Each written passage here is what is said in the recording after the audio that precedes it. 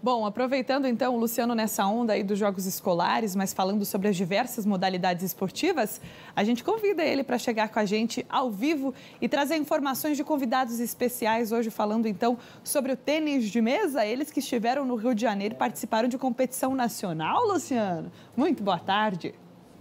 Oi, Thaisa. Boa tarde para você, boa tarde para quem nos acompanha no Trabalho Esporte. Estou aqui com essas duas feras, os irmãos Eduardo e Caroline Gruchowski. Olha, Thaisa, só para deixar o nosso telespectador ambientado, em 2020 a gente produziu uma reportagem especial com eles, bem naquele auge da pandemia, quando eles driblaram as limitações impostas pela pandemia e improvisaram a cozinha de casa para que pudessem treinar o tênis de mesa. Agora a pandemia já está indo embora e eles estão é, ganhando novas fronteiras. Inclusive, como você disse, eles estiveram na Copa é, Brasil de tênis de mesa lá no Rio de Janeiro. Sobre esse assunto, eu vou conversar com o irmão mais velho, o Eduardo, de 16 anos, que vai falar para nós as virtudes e as dificuldades de enfrentar esse torneio lá no Rio de Janeiro. E com terceiro lugar. Boa tarde, Eduardo. Seja bem-vindo ao Tarobá Esporte. Boa tarde. É, foi um campeonato muito de um nível altíssimo. Tinha mais de 900 atletas inscritos.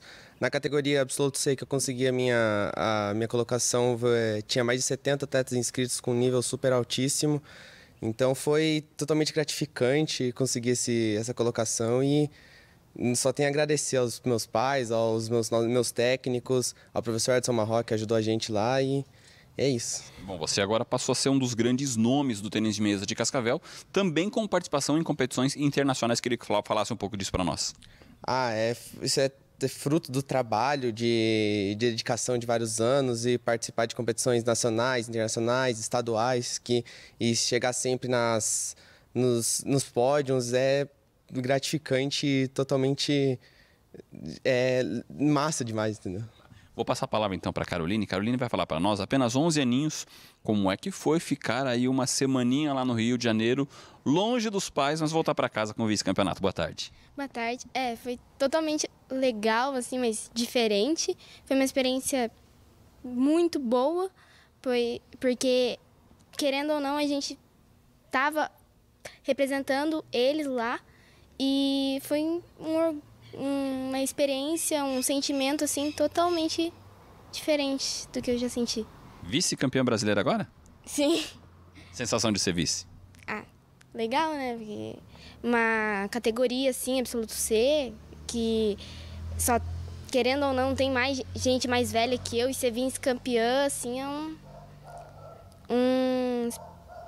Como é que eu posso falar? É legal demais. Deixa eu aproveitar que você falou que é legal demais. Você vai estar em ação também. Nas, há pouco nós vimos uma reportagem falando de jogos escolares da fase municipal. Você, a partir da semana que vem, na terça-feira, já vai estar em ação também representando o colégio. Explica um pouco para nós.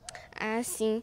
É, a partir de terça-feira vai estar começando os campeonatos, o campeonato escolar de tênis de mesa. Eu vou estar representando o meu colégio, o, a Escola Saber. Tá certo, essa foi a Carolina. Vou voltar a falar com o Eduardo então. O Eduardo fala para nós, porque além de disputar também os escolares a partir eh, da semana que vem, da terça-feira, pelo Eleodoro, vocês têm outra competição em Londrina e o Paranaense já nesse fim de semana. Fala um pouco para nós. Isso mesmo, tem a segunda etapa do Campeonato Paranaense, já tivemos a primeira em Maringá. E agora é, é a segunda etapa de oito que vai ter durante o ano, que vai decidir os quatro melhores para pegar a seleção no fim do ano para o brasileiro. Então, Thaís, aqui está o Eduardo, terceiro colocado no, na Copa Brasil de Tênis de Mesa, Caroline vice-campeã. Essas são as feras, os irmãos que representam muito bem Cascavel aí no tênis de mesa, não somente no Paraná, mas hoje também atletas que representam a cidade no país como um todo. Volto com você, Thaisa.